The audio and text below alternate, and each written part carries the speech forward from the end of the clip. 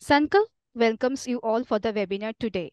We're delighted to have you join us as we take a significant step towards enhancing healthcare for all. We thank our speaker, Dr. Dr. Umesh Jalihal, sir, for joining us today, who will share some interesting updates around PPIs. Before we begin, a quick intro on Sankalp.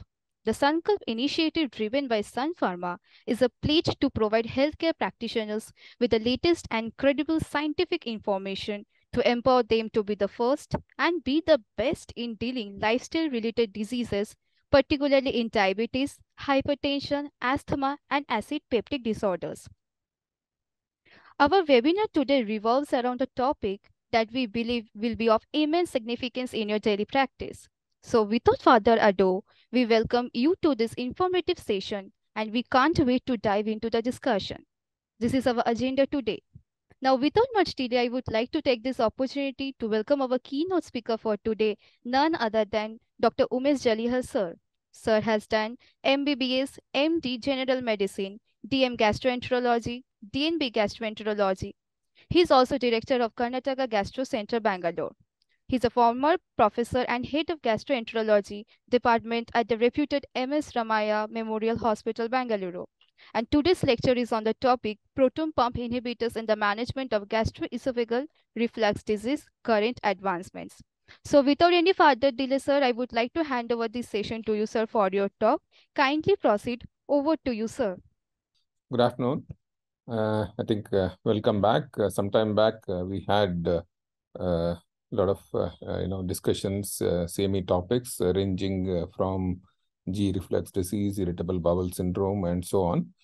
I think at the outset, I must thank Sankalp and Clarinet for organizing this important uh, webinar on G reflux disease. Uh, as we uh, know, G reflux disease is a very common problem in the community. I think uh, roughly about uh, uh, 15 to 20 percent in some countries, up to 25 percent population suffers from G reflux disease. So it's imperative that we know about G, G reflux disease so that we should be able to uh, help our patients in uh, day-to-day -day practice. So today we talk about uh, the advancement uh, in the management of gastroesophageal reflux disease and uh, the proton pump inhibitors uh, is the mainstay of the treatment of the G reflux disease. Hence, there is a need to know more about proton pump inhibitors. So before we start the discussion on proton pump inhibitors, let's understand uh, a little bit about uh, gastroesophageal reflux disease, like uh, what is its prevalence, how is it uh, caused, and uh, how a patient of G reflux patient presents in our clinics. As you all know, G reflux disease is a gastrointestinal disorder characterized by regurgitation of the gastric contents into the esophagus. Based on endoscopic and histopathological appearance, GERD is classified basically into two categories. That is endoscopy negative reflux disease or erosive esophagitis. That means when we find uh, you know normal mucosa, patient has reflux symptoms. Uh, it's called negative uh, NERD or uh, non-erosive reflux disease. When patient has uh, reflux symptoms and we do an endoscopy, uh, we find, suppose, the erosions in the esophagus, then it's called eros erosive esophagitis. Sometimes long-standing G reflux disease, if untreated in small percentage of patients, can progress to chronic uh, mucosal damage, what is caused as Barrett's esophagus. What will happen is there is a metaplastic squamous columnar epithelial change at the lower end of the squamous uh, uh, squamous epithelium at the squamocolumnar junction part of the uh, esophagus. That's called Barrett's esophagus. It's a potentially pre-malignant condition. If it is untreated, patient can have dysplasia, adenocarcinoma, and so on. So this is the schematic diagram, which shows the esophagus, uh, and uh, there's a G junction here, close, uh, uh which show, shows the closed esophageal sphincter and you'll see that in the stomach, the uh, bluish green liquid present in the stomach is uh, confined only to the stomach in the first uh, pic.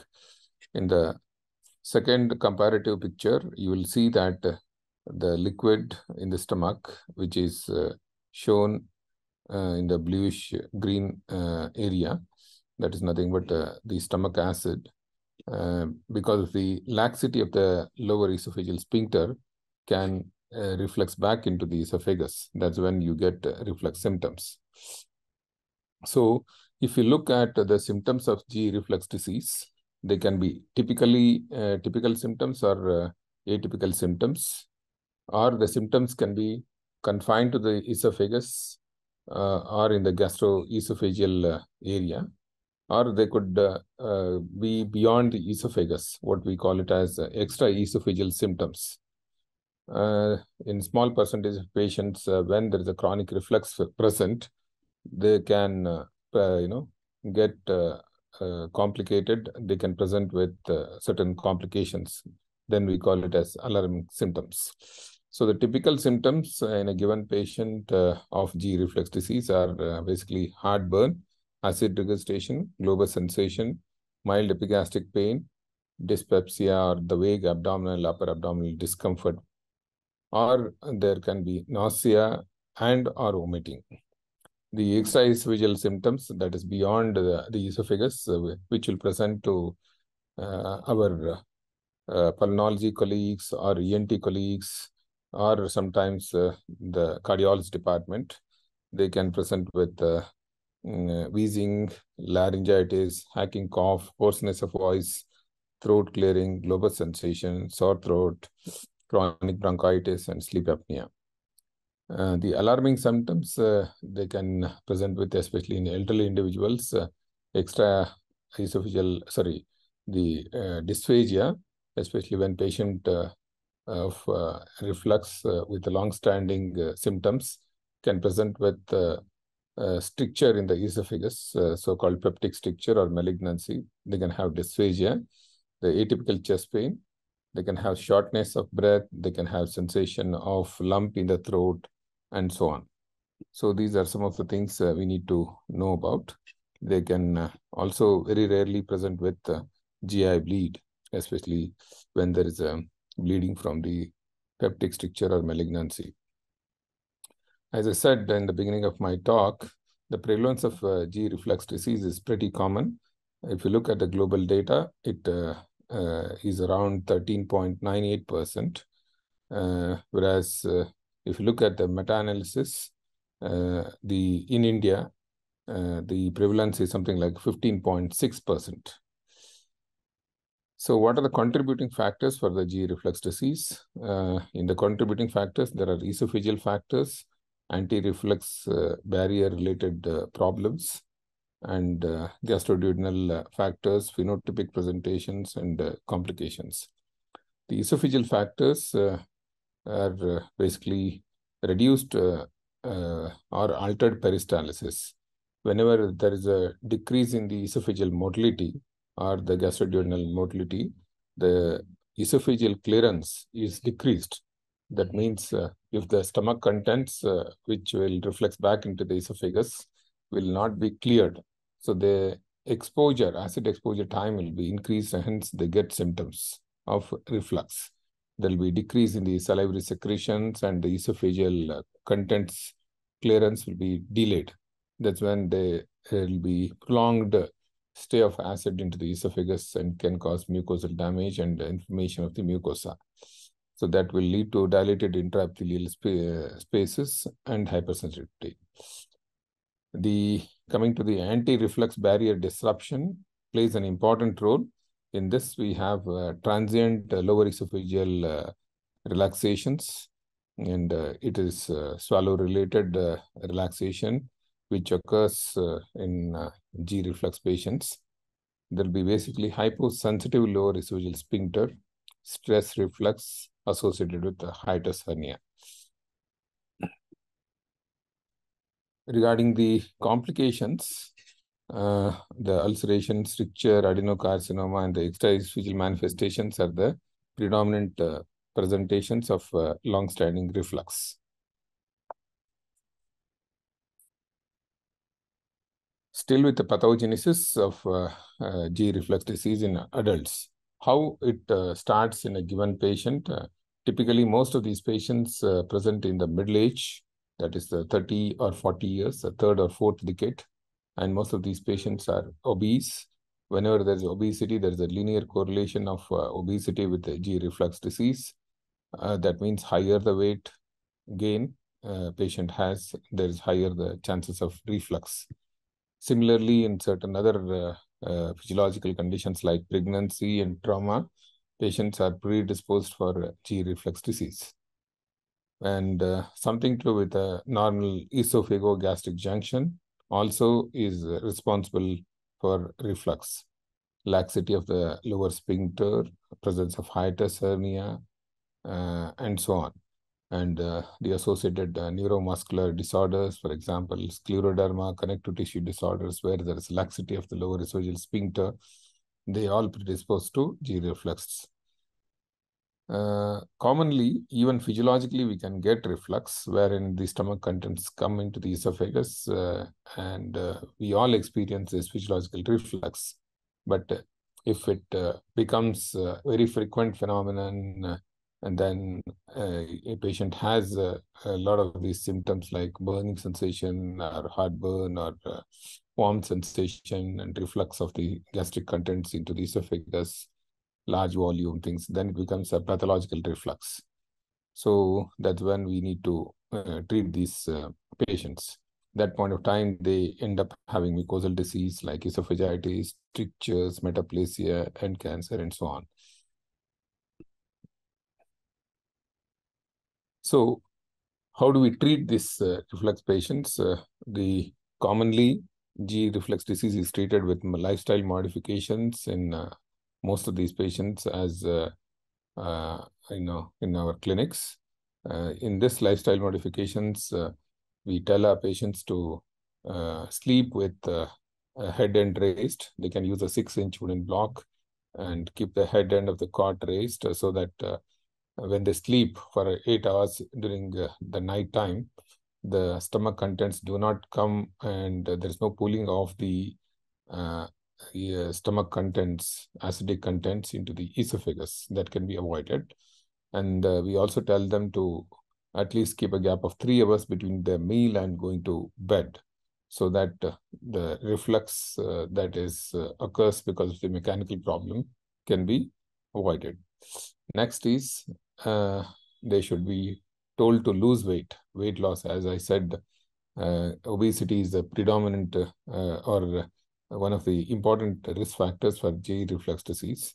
So weight loss helps in uh, the treatment of the symptoms. Avoid, you know, tightening, uh, tight garments. They should wear loose fittings so that they do not get increase in the intra-abdominal pressure coming to the drugs, uh, starting from uh, many decades, uh, our uh, predecessors and uh, predecessors and professors have been treating them with antacids and H2 receptor antagonists. In the last two three decades, we have come a long way with better drugs in the form of proton pump inhibitors, which will block the final common pathway of acid secretion and bring in the better acid uh, tight acid uh, uh, control. So uh, the proton pump inhibitors will help in the final common pathway blockage. So that's how the uh, treatment of uh, G reflux disease is very, very uh, effective with PPIs. In small percentage of patients, maybe I think 1 to 2% of patients end up undergoing the surgical procedures which is used for valve tightening between the esophagus and the stomach. There's a G junction which is defective. That needs to be corrected by either endoscopic uh, procedures or by the laparoscopic procedures. So what is called as fundoplication. That means uh, an effective functioning G uh, uh, uh junction. That is a flap valve which prevents the reflux of gastric contents into the esophagus is done by either the uh, endoscopists or the surgeons. There are many uh, you know, advanced endoscopic procedures, which are also used to uh, refashion this uh, defective G junction. And this, uh, we have transoral incisionless fundoplication and Stretta procedure, which will induce fibrosis at the G junction and uh, which is used to counter the G reflex uh, problem.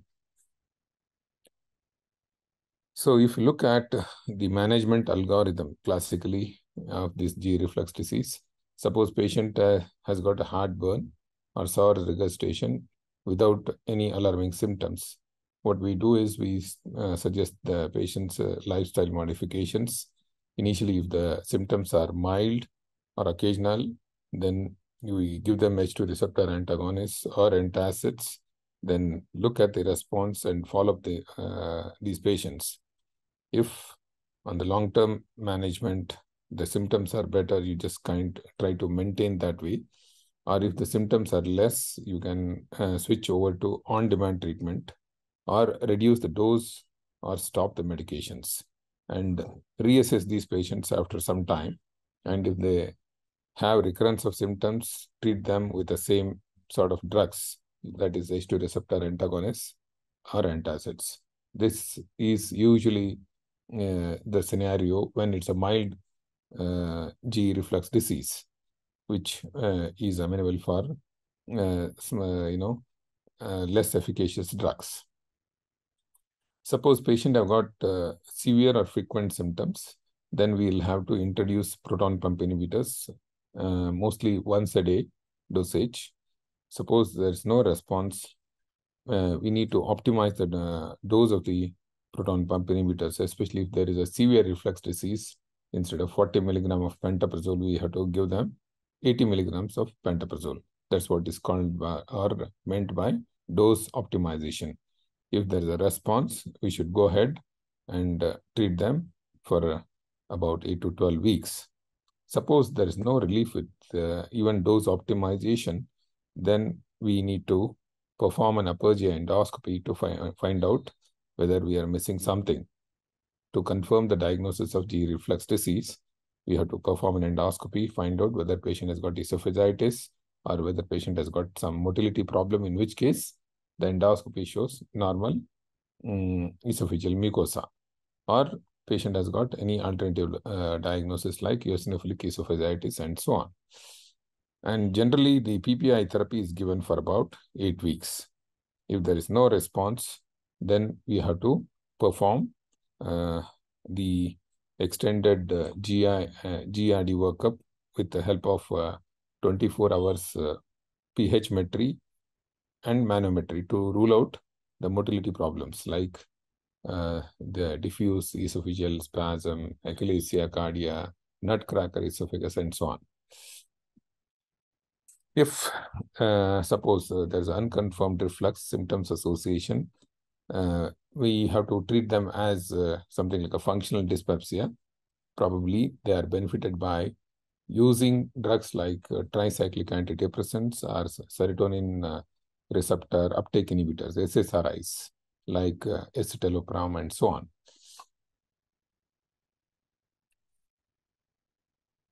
So if you look at uh, the consensus treatment algorithm for the management of GRD with PPIs, it goes like this you need to confirm the diagnosis of G reflux disease, rule out gastroparesis, consider nature, severity, and frequency of symptoms. If there are recurrent episodes, uh, like more than three episodes per week, we need to give them OTC or the counter proton pump inhibitors for roughly about 14 days.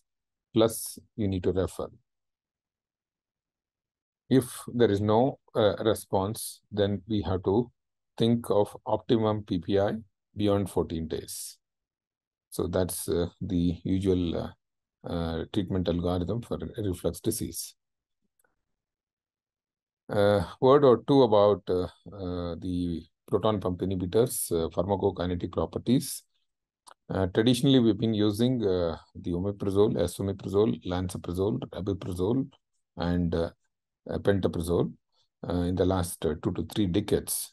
If you look at uh, the bioavailability of the omeprazole, it is very less, uh, something like uh, 30 to 40 percent.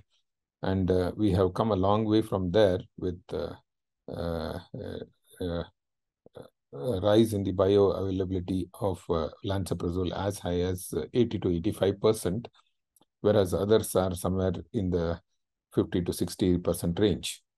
The maximum plasma concentration is around uh, 1 to 2 hours, and plasma half-life is again 1 to 2 hours. Sometimes it will be little less than 1 hour in some patients. Metabolism uh, occurs most probably in uh, the uh, liver through cytochrome P450 uh, hepatic enzyme pathway. But there are certain drugs like rabeprazole and pantoprazole which will use non-enzymatic pathway. That's how they are preferred, especially the pantoprazole and rabeprazole. Whenever there is a drug-drug interactions uh, suspected, especially when patient has got multiple comorbidities like ischemic heart disease, uh, bronchial asthma, and so on.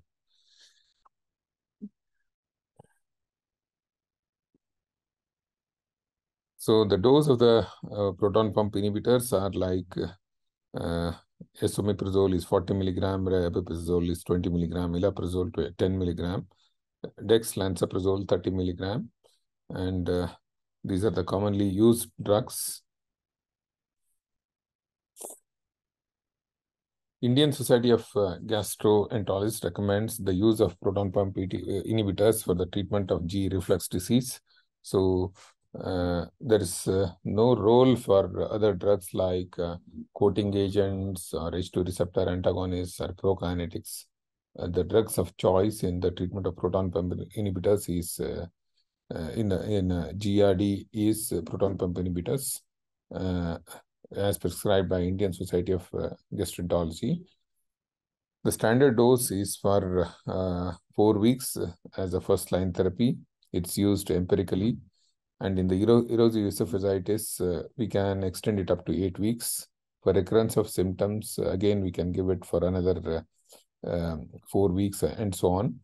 Long-term PPI should be offered as a maintenance therapy in severe erosive esophagitis like uh, grade C or grade D, uh, Los Angeles classification of uh, G reflux. Uh, we can use them for a longer period of time.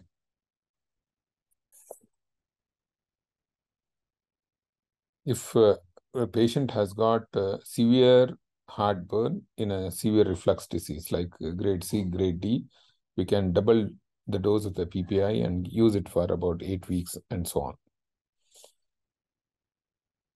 So FDA has approved uh, the uh, this uh, proton pump inhibitors uh, in the uh, dose of about 40 milligram when it comes to about pantoprazole, and uh, you can use it for 8 to 16 weeks. Indications of pantoprazole in GERD as a short term. Thank you. Uh, the dosage is 40 milligram. Duration is 8 weeks. Can be used in children and a smaller dosage. Whenever there is a GERD severity like A to D, B, C, all this, the duration is as long as 8 weeks in the dose of uh, 40 milligram pentaprazole. I think I'll skip this uh, trials and studies. It's a bit uh, complicated. We, you may not follow it. Oral disintegrating tablet of pantoprazole for G reflux disease, especially in uh, when there is a dysphagia. If patient has got uh, difficulty in swallowing or if there is a suspected uh, peptic stricture, uh, a bigger tablet or capsule, suppose uh, can't be swallowed, we can use a disintegrating tablet as it is shown, it's in the powder form or as soon as you swallow, it undergoes uh, disintegration. It will uh, become a powder form, easy to swallow, and it will reach the stomach as well as uh, the microgranules can go up uh, down into the upper intestine. So that brings us to the uh, completion of uh, just uh, today's discussion. I think uh, we'll take up the questions uh, and answers session. In that, uh, we can have more extended uh, discussion. So, uh, to summarize, Uh, G reflux disease is a very common problem with uh, prevalence being around 15 to 20% in the community. And uh, empirically, we can give PPIs initially to treat the classical reflux symptoms. If there is uh, not much of a response, or if you suspect atypical GRD, if you suspect uh, the alarming symptoms like dysphagia, GI bleed, anemia, then we should do an endoscopy to find out uh, uh, non-GRD conditions like uh, motility problems, eosinophilic esophagitis, malignancy, and so on. And in suspected patients, uh, when there is uh, diagnostic dilemma is there, we can uh, do a further evaluation with manometry and pH metry. And in uh, severe uh, erosive esophagitis patients, we can do the optimization of the dose of the proton pump inhibitors. Sometimes we can even add proton uh, prokinetic drugs besides lifestyle modifications. And if uh, the symptoms are still persisting, then there is a what is called as uh, GRD, I mean PPI dependent G reflux disease or refractory G reflux disease patients. Such patients, uh, we need to uh, think beyond drugs and consider endoscopic or laparoscopic methods of uh, uh, treating the, such patients. Thank you.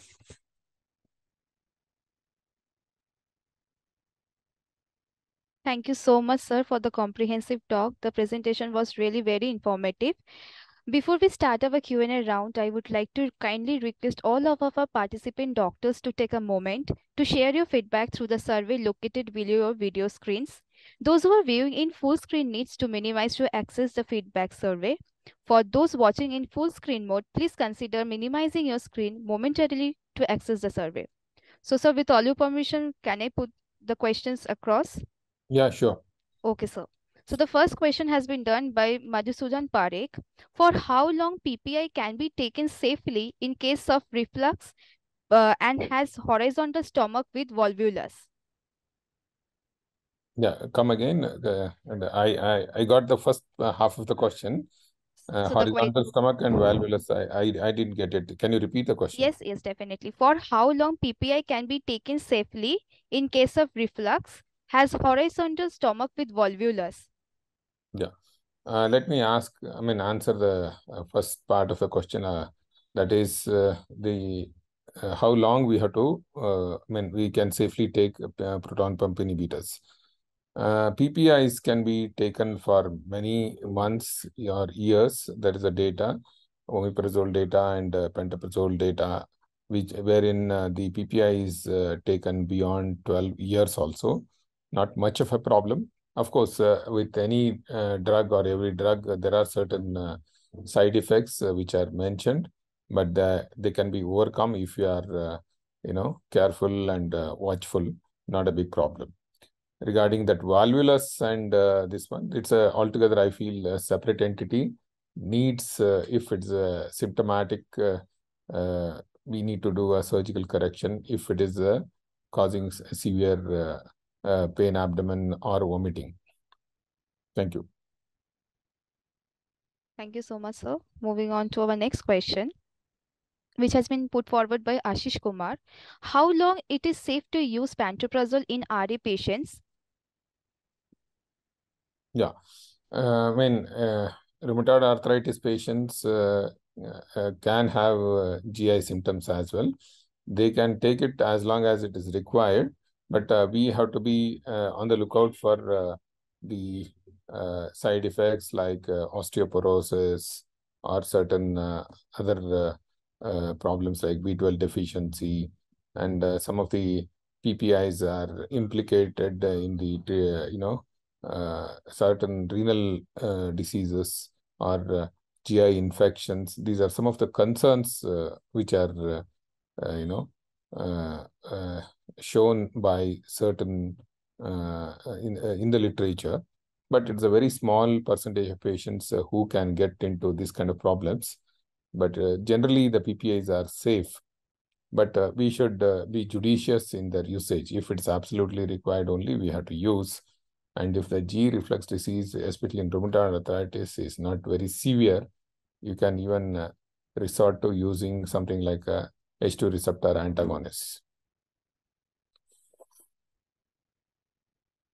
So our next question has been put forward by Shivdas Digambar Jagdale that whether it is okay to use PPI with itopride. Yeah, definitely there are lots of formulations uh, of PPI and prokinetic combination. PPI is uh, pantoprazole is combined with itopride and uh, many uh, other PPIs are combined with uh, uh, domperidone and uh, uh, levosulpiride. But uh, uh, there is a, a small subset of, mm, you know, people say that these are irrational combinations and better not to use them. But in India, uh, uh, we get a lot of these PPI prokinetic combinations, especially with itopride, not much of a problem, and uh, they're especially useful in severe GE reflux disease as well as diabetic gastroparesis. Thank you so much, sir. Our next question has been done by Dr. Rizwan Ahmad. What is the role of PPI in TB patients? Yeah, there's no role or there's no uh, indication for PPIs in tuberculosis patients at all.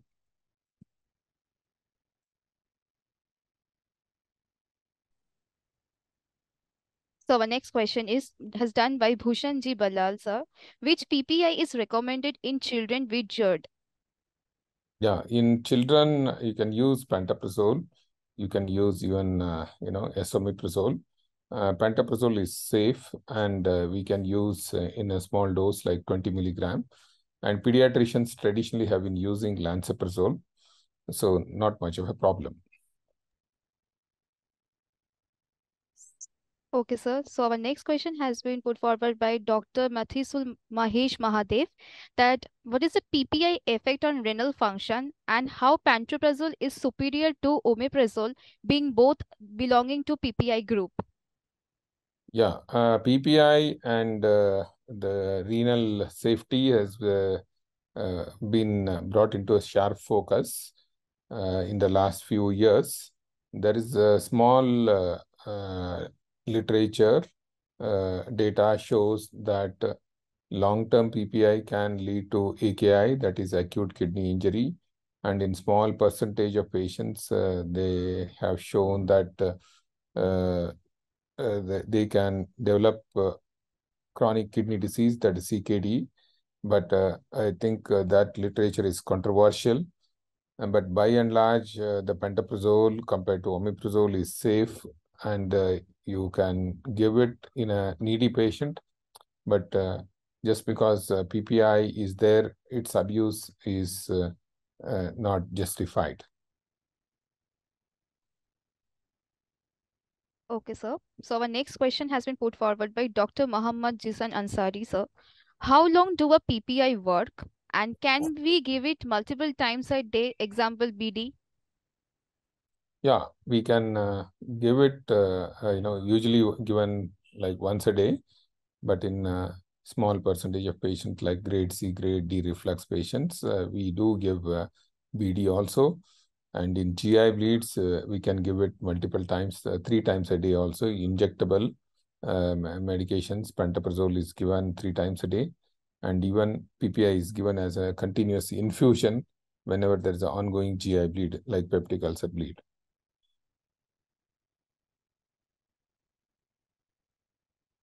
So our next question is has been done by Dr. Madhulika Pritam Rao. How to differentiate between heartburn or gastritis and any cardiac pain when only pain is in gastric region for a while? Heartburn, heartburn and, uh, uh, gastric pain. Yeah. So these are all, uh, you know, uh, um, synon uh, one uh, problem is there is a little bit of a variation in the terminology. GERD commonly presents with retrosternal burning sensation or so what is so called as heartburn. In the lower part of the chest, there is a, some kind of a warm sensation and it's uh, usually in the postprandial or after eating food. Uh, the so-called gastritis uh, or the stomach-related uh, pain uh, the pain is in the upper part of the abdomen between the xiphisternum and the umbilicus. It can be a burning pain or it could be some kind of a, uh, mm, a bloating or uh, the fullness that is present in the upper abdomen.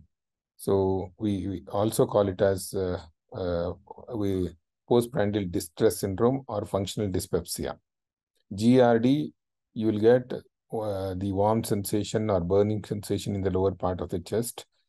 Uh, usually that occurs uh, after eating food or uh, after eating the spicy food. And uh, the one other uh, thing I think you said is the cardiac problem. Here, there will be atypical chest pain, predominantly in the central part of the chest or in the left part of the chest, uh, overlying the heart area, so-called precordial chest pain. So the musculoskeletal problems and the cardiac chest pain sometimes uh, will be uh, close differential diagnosis and uh, they'll be more confusing uh, with uh, G reflux disease at times, not always, but we should take a proper history and try to differentiate it and treat them with appropriate therapy. Thank you so much, sir. Moving forward, uh, the question has been put forward by Dr. Aisha Ayaz. Do we recommend PPIs in a young female with GERD or there are better alternatives? Yeah, there is no problem. Uh, we can definitely give PPIs uh, in a young female uh, with a G reflux disease. Uh, only thing we should be careful if it's a young female giving uh, administration of uh, the prokinetics like domperidone or levosulpiride as it can cause galactorrhea or milk secretion from the breast. Uh, otherwise, uh, just PPI therapy in a GRD in female patients, not a problem.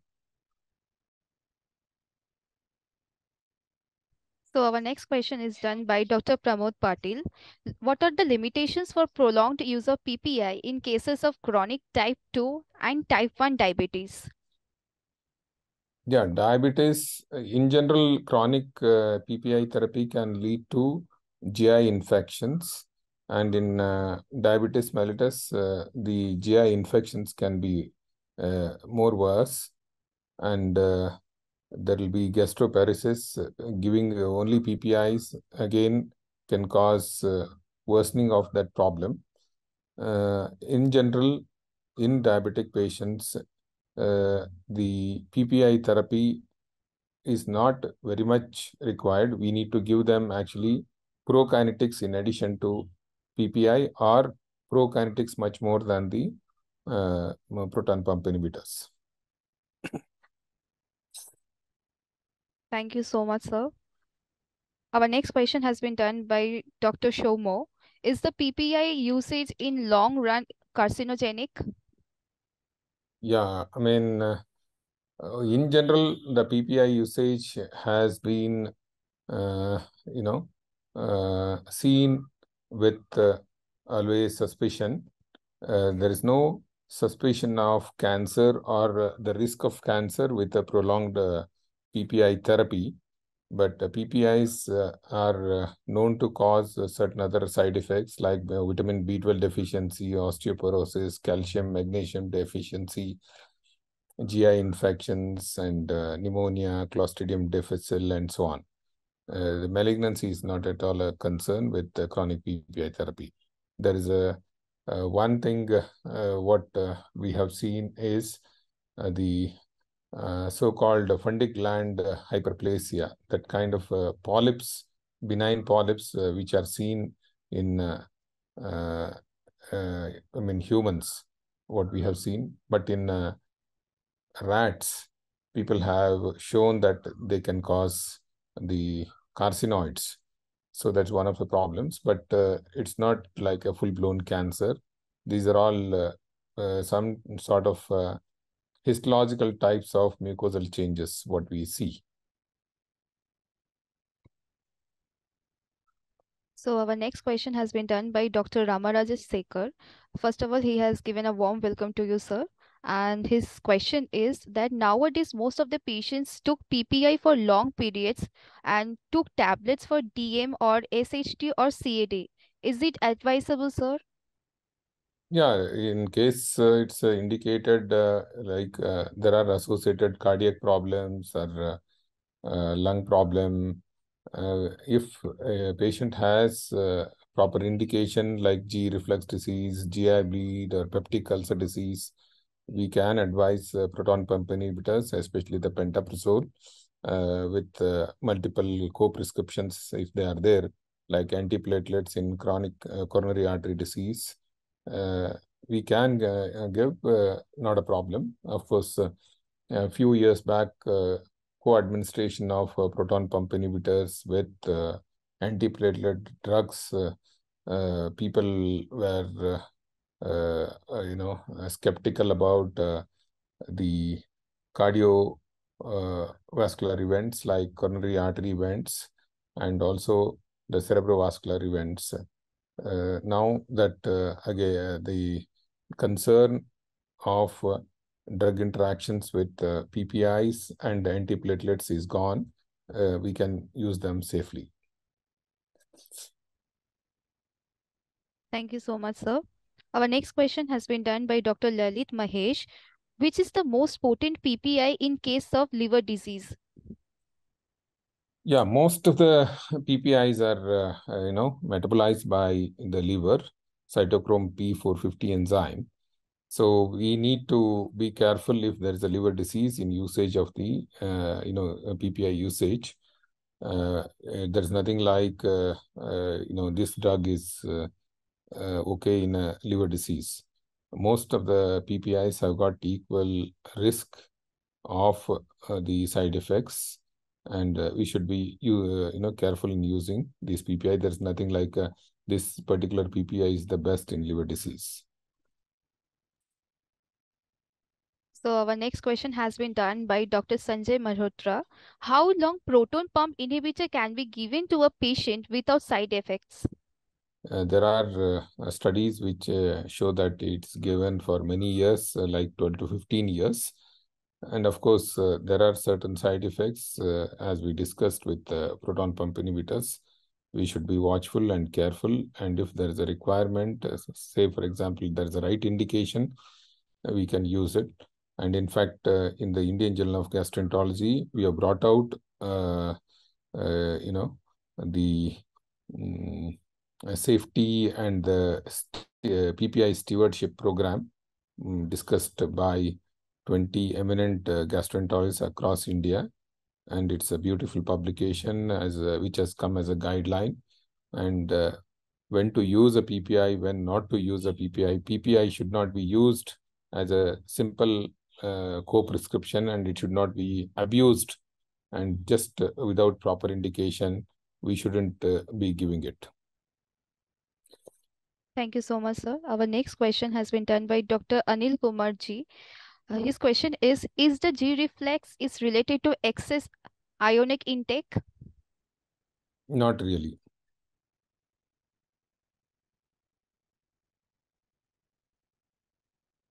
Okay, sir. So our uh, next question is from, uh, so we have already covered such questions. Now we haven't received any such questions more, sir. Yeah. So, well, uh, thank you so much, sir, for answering all the queries of the doctors. And I would also like to thank all the participating doctors for your continuous participation at our platform. So before we conclude, we want any last comments from your side? Yeah, uh, I need to, uh, you know, just uh, uh understand, uh, I mean, a lot of questions have come from various doctors regarding the safety of the proton pump inhibitors that's a very, uh, I mean, good point. It's a welcome point. Otherwise, uh, in the day-to-day -day practice, we see that PPIs are used as uh, uh, just co-prescription. Simply, uh, we see that uh, without proper indication, some PPIs are prescribed just like multivitamins. So we have to take a necessary care, you know, care and use uh, caution in using uh, these proton pump uh, inhibitors. They're generally safe, but uh, we shouldn't be just uh, giving them uh, without a proper indication. One of the commonest indications uh, we see in our practice is that G reflux disease, wherein uh, the PPIs are used for longer time, uh, longer than a few weeks or months. Otherwise, uh, uh, the PPI usage uh, for long time is not there but using them as uh, you know suppose somebody is giving an antibiotic the ppi is given as a co-prescription. Suppose patient is getting discharged ppi is given as uh, just one uh, common prescription at the while patient is going home uh, getting discharged from the hospital. Or patient is just taking some other drug just to avoid gastritis ppis are given.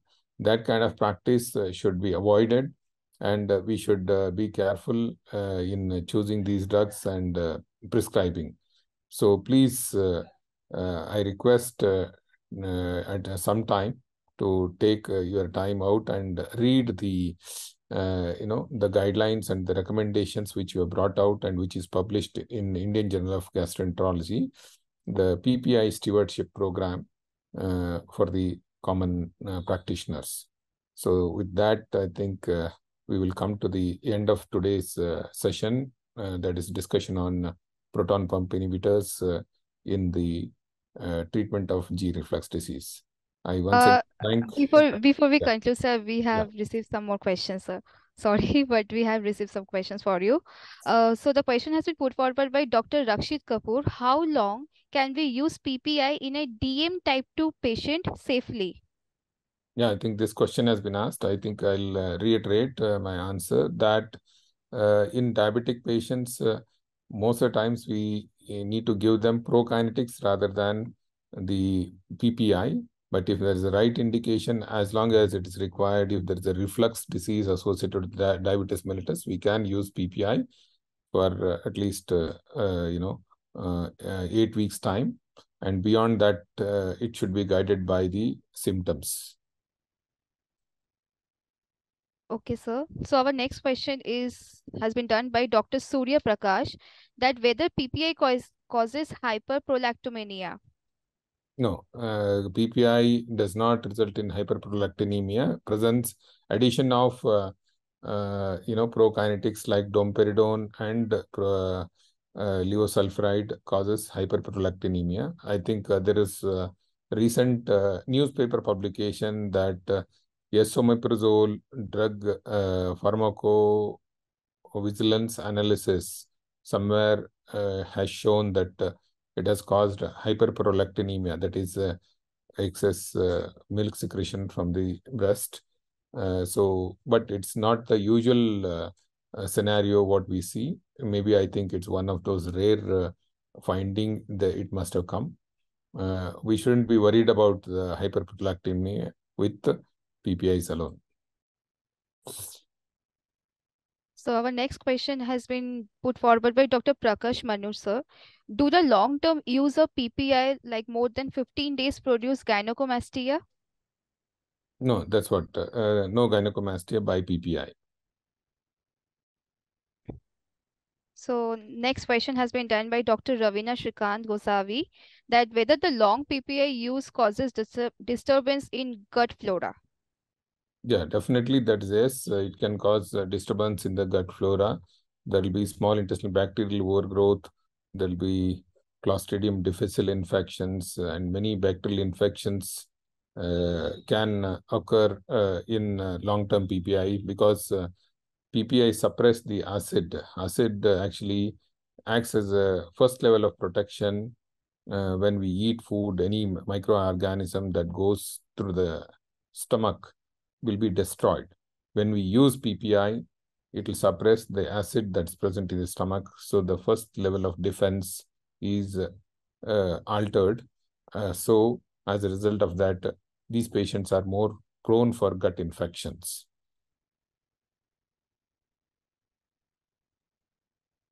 Thank you so much, sir, uh, for answering all the last minute questions uh, because we were almost in the conclusion mode. Uh, I guess you have covered the lecture very inform. One was providing information very nicely. So, sir, with uh, all your permission, are we good to conclude the session over here? Yeah, thank you. Thank you so much, sir. Thank you. Okay. Have a nice day and have a nice day to all participant doctor as well. Yeah, thank you once again.